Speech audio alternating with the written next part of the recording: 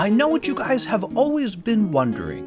Which weapon class is actually the strongest? Is it the hunting horn? It's probably the hunting horn. Hunting horn is probably the fastest weapon you've ever heard of, especially because it's definitely not a support weapon. Whatever the case is, we also want to know what the slowest weapon is. We know a little bit about weapon popularity. We know that the hunting horn and the lance tend to be at the bottom of the weapon popularity charts, and at the very top of the weapon charts is the longsword. The indefeatable longsword is always at the top. So wouldn't it be interesting to know which weapon class, and I'm not talking about a particular weapon in that weapon class, but which weapon class, really, is dealing the most damage? Well, guess what? There is a way to know. There's a website I've been using for a little while, especially ever since Iceborne came out. And this is a website that compiles speedruns from around the world. I find this really to be a useful tool for information. I think you guys will too. The name of the website is iceborne.seiken.io. Uh, I probably pronounced that wrong. If I did, I apologize. Uh, but you know, now you know how to get to the website, and you can go see all the same information I can, so go check that website out, okay?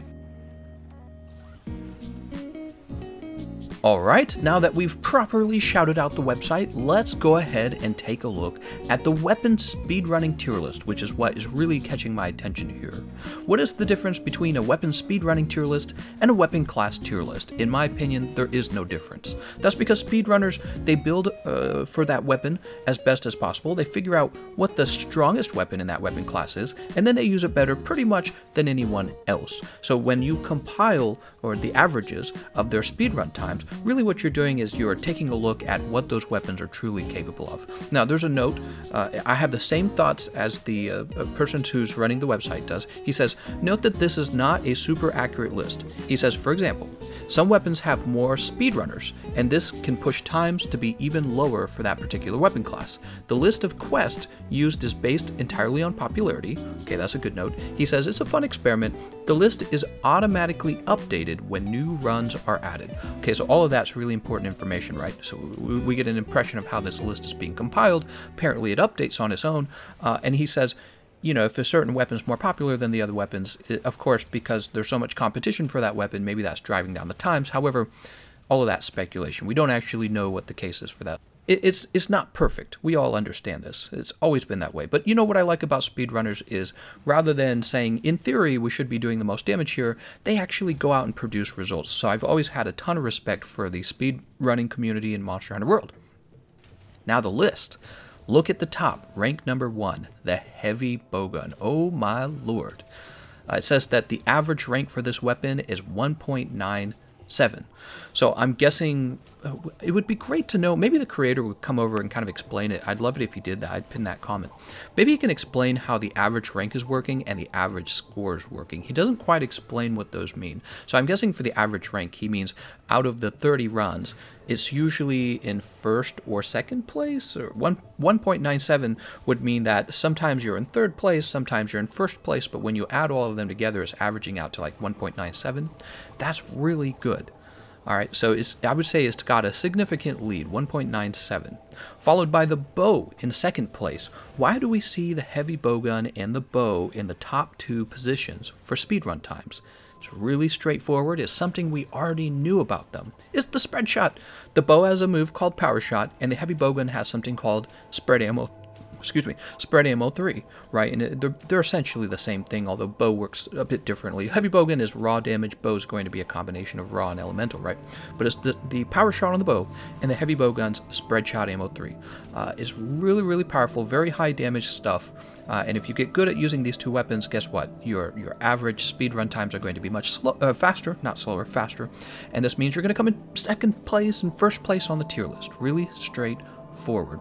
So it's one of my favorite weapons, heavy bowgun. Another nice thing I've always liked about heavy bowguns, of course, is also the cluster bomb ammo still is actually viable in Iceborne, and the sticky ammo is very easy to use. So I happen to like the fastest speed running weapon in the game. That's very cool. Also, I do love the bow. I just don't use it so much because I have the heavy bowgun that I'm already kind of skilled at. Okay, so that's one and two. Third place is the dual blades, the jewel blades. So dual blades in third place. That's very interesting. I did not expect that actually, but dual blades is in third place with an average rank of 4.60. I don't really know what the average score means. It says 10.40. Those can't be speedrun times because uh, the heavy bowgun has the highest uh, number here. You would expect it to have the lowest number, so I don't exactly know what that means. Uh, but yeah, so dual blades coming in third place, followed by the greatsword. Huh, I would have expected the greatsword to maybe be higher than the dual blades, but apparently dual bla- uh, the greatsword is in fourth place, and then after that, we see the light bowgun. And you can kind of see the average rank uh, between Dual Blade's Greatsword and light bowgun is actually fairly close between the two, right? So starting out at the heavy bowgun in first place, there's actually a big jump when you go to the bow, and then another big jump when you go to Dual Blades. But Dual Blades is very close to Greatsword, and then Greatsword to light bowgun isn't actually uh, a very large jump either. But the next large jump is had in sixth place with the Charge Blade. So the Charge Blade jumps up to 7.33 average rank.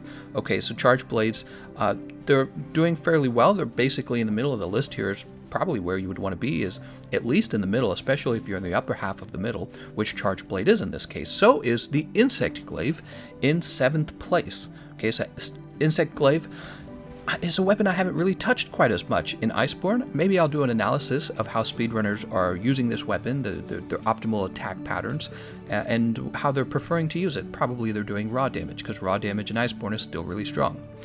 In 8th place, this is really surprising. Well, it's not surprising, but it's, it's cool to see, I, I suppose is what I mean. So in 8th place is the Gun Lance. The Gun Lance is doing really well, guys. And why is that? Because long shelling Gun Lance does not require you to soften monsters' parts. It is an explosive damage type, and right now long shelling gun lance is really strong. It has a lot of range. You shoot the uh, wyrmstake, and the wyrmstake's exploding to give you a lot of bonus damage. So we should probably do some more work on the gun lance as well. It's interesting that it's ranking so high because I I suspect it didn't rank this high in the past. I'm, I have a feeling Iceborne probably has ranked Gunlance much higher now. Now here's something that's really funny. In ninth place, all the way in ninth place on the lower half, or the, you know, the second half of the list, the lower half, we have Longsword. Longsword, the most popular weapon in the game, is not even that high up on the list.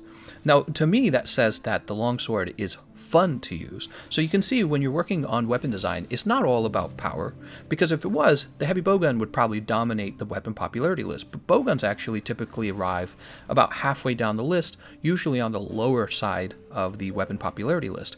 Whereas on the speedrun list, or what I call the weapon class tier list, he's on the top, and longsword is all the way in ninth place. So people like the longsword because it's just more satisfying to play, probably. Right under longsword is actually the switch axe. Uh, you know, I think the switch axe would do a little bit better if it was I feel like it's very tricky to use the switch axe. It does really high damage when the monster is knocked over. You just do crazy damage. But when you're having to dodge a very fast monster, uh, especially one you can't really commit to very easily, I feel like switch axe starts to struggle at that point. So uh, another thing that's interesting here, uh, gun lance, longsword, and switch axe really aren't that far off from each other in my opinion. Underneath that, I don't understand this. So we have the hammer in 11th place, but it says that the average rank is 7.54. So I'm wondering if uh, something here is off or if I'm understanding the average rank correctly. Uh, you can see average score on the far right. It, it, seems to be shifting downwards. So it seems that understanding average score is important for uh, explaining this list. Once again, I don't really know how he's calculating the average score. He doesn't explain it. Uh, maybe you guys can analyze it and tell me what you think it is. Or again, maybe the creator will just tell us what it is or somebody can contact him. Uh, underneath the hammer, we have the sword and shield. And you know what? I actually expect that to change. I've been hearing rumors that sword and shield is doing damage output similar to the bow ever since they buffed the perfect rush on sword and shield. I've been testing perfect rush myself. I've never really given it that much attention because I felt when Iceborne launched that sword and shield was not that strong. But with the change to its uh, uppercut cut and then a, a buff to the Perfect Rush, I would not be surprised to see Sword and Shield climb the list at least somewhat. Underneath that, in 13th place, but with a large jump in average rank, we have the Hunting Horn, and last place we have the Lance. What's interesting about that, Hunting Horn actually still beats the Lance. The Lance all the way in last place. This somehow is really not surprising me at all. You guys might have been in my very whiny live stream where I did nothing but take a poo on the lance when I play. It's one of my most played weapons, and I, I picked it up once again after a long break from it, and I realized just how little damage it was doing. This is clear evidence that Capcom should consider buffing the lance. The lance should definitely be de dealing more damage than the hunting horn, because the hunting horn, as a solo weapon, really you don't see it shine as much, because hunting horn has that attack up extra large buff, and when it hands it out to your teammates, yes, so uh, basically attack up extra large is being multiplied by the number of the teammates that you have. So if it was at the bottom of the average rank or average score for damage output, this would still be okay in a way because really you would you could think of it as more uh, leaning toward having benefits in multiplayer rather than in solo. So this is a, sort of acceptable in a way. Although I don't I got I gotta admit I would I wouldn't be okay with hunting horn ranking higher uh, in solo. It, it's the jump. I mean, look at the jump between sword and shield. Average score is 5.28. When we go down to hunting horn and lance, it's literally like half of that, and sword and shield is like third from last anyways. So that's just really bad looking. I would. Uh, uh, do you guys remember? It was a while ago. I was saying I was playing hunting horn against was it was a tempered Teostra and Iceborne, and I was really putting a good effort into soloing Teostra, and it was a struggle. And then I swapped over to the hammer, and it was like, just just like that, I just easily defeat Teostra. Uh, so I was thinking back then, I was like, man, maybe Hunting Horn could still use maybe a little bit more love in terms of damage output or something, because it was a solo. Uh, and this list, in my view, kind of confirms that. And then similarly, the Lance is just very heavily underperforming. I really would like Capcom to give it a buff so that it feels more fun to use. Since I know the weapons a lot more than I used to know, uh, right? I play all the weapons, uh, probably not dual blades and the sword and shield so much, but I play a lot of the other weapons a lot more than I used to it hurts to come from playing all those other weapons and then to go over to the lance and just be like, wow, now I deal no damage, right? It's, uh, that's an exaggeration. I do deal damage. It's just I can tell it's significantly less damage than like, especially if you compare it to heavy bowgun, which is my most played weapon. You know, I'm doing spread shot on a heavy bowgun, and then you trade over to the lance. You're just like, what is this? I'm doing like a fifth of the damage. So there you guys go. That's the weapon tier list from 1 to 14. I'll probably be checking up on this list bi monthly to give you guys updates on if there's any changes in the rankings of the weapons. Uh, I find it to be very interesting. We're going to be covering this. Uh, every every other month, I, th- I think we're going to cover the weapon tier list, and then on the other side of the month, right, since there is going to be bi monthly, we're going to be covering weapon popularity. So we'll have one month weapon popularity, one the next month uh, the weapon tier list, weapon class uh, tier list. So that's my intention for this, and uh, big shout out to the website. He's done a really nice job with it. I hope he continues to work on it. And that's going to be the end of the show. I want to thank you all for watching, and I'll see you guys next time.